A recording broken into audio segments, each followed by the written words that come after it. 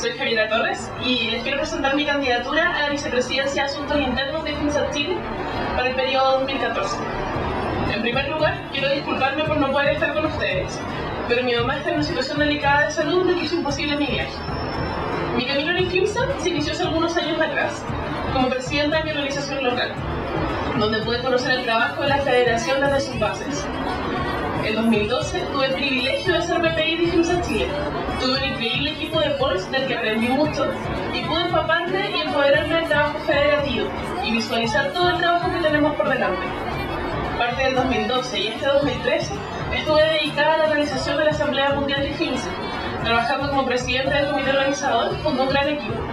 Esta instancia fue la que me motivó a volver de lleno al trabajo nacional, ya que al ver el gran potencial que tenemos como equipo y como futuros médicos, me hizo pensar en podemos lograr si nos unimos y trabajamos en conjunto para lograr la salud y el Chile que queremos. El BPI es el líder del equipo de POLS. Conducir las necesidades y orientar el trabajo de los POLS al cumplimiento de los objetivos de FINSA Chile es parte de su misión, así como entregarles herramientas para que todos puedan cumplir con sus metas y funciones, tanto a nivel local como a nivel nacional. Por eso les presento mi plan de acción. Con respecto a las organizaciones locales, ítem son cuatro los ejes principales. El primero es el desarrollo, el sistema de compartes, en que las OERs más fuertes y cercanas puedan apoyar a las que. Además, trabajar en base a las necesidades e intereses de cada organización local para poder desarrollar al máximo sus potenciales. Otra de las metas es conformar un equipo fuerte y consolidado. El segundo eje es el empoderamiento, potenciar la formación, fomentar la representatividad y la comunicación, favorecer el establecimiento de nexos y contactos. En integración, impulsar las instancias regionales, la relación entre las organizaciones locales, sus miembros y el equipo de oficiales. Además de establecer reuniones que nos permitan conocer más acabadamente la realidad de cada organización local. El último eje es la comunicación. Es primordial mantener el contacto regular y fluido, integrar nuevos canales, facilitar las vías de comunicación entre los distintos estamentos e impulsar la asistencia a las reuniones, acompañado de fortalecer la relación entre los cursos. En torno al estatus de organizaciones locales, en el caso de las OELs que están participando activamente en nuestra federación, seguir siendo apoyo y guía en sus trabajos, brindar apoyo en sus escuelas o facultades, propiciar el contacto con otras organizaciones y mantener reuniones mensuales.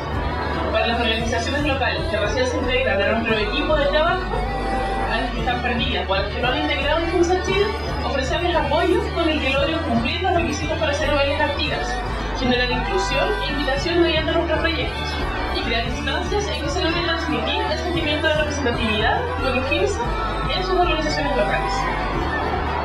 En concierne al trabajo de directiva, la propuesta es llevar a cabo la reforma para el FIMSA, llevar a puerto el tema de los estatutos, que se ha convertido en nuestro gran tema pendiente, brindar el mayor soporte posible a nuestros proyectos, apoyar directamente a las OELs mediante la renovación del material y de los manuales para OELs, Small Working Groups y Workgroups, todo basado en sus intereses y necesidades.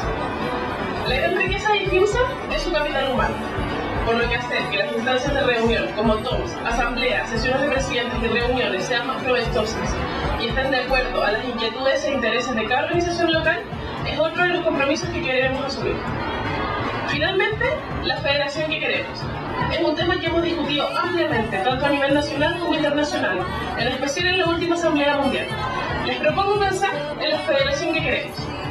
Para mí es importante que esta federación sea participativa e inclusiva, que fomentemos proyectos, promocionemos nuestras ideas y propósitos, que logremos una federación con una identidad clara, descentralizada y en constante invitación a nuevos miembros. Además, que esta federación sea comprometida, que la vocación, el esfuerzo y el trabajo de sus miembros esté puesto al servicio de FIMSA y el mundo que queremos. Debe estar empoderada, ofreciendo formación, generando liderazgo participativo y siendo responsable con la misión que asume.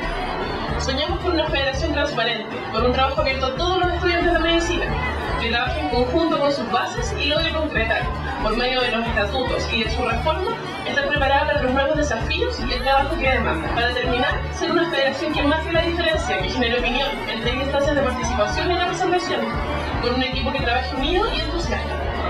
Entonces, la invitación es a querer y vivir la federación, a crecer y trabajar en ella, y generar instancias para que la vocación de cada uno y las ganas de trabajar sean el comienzo de un camino que lleve a la construcción de una mejor sociedad y una mejor medicina.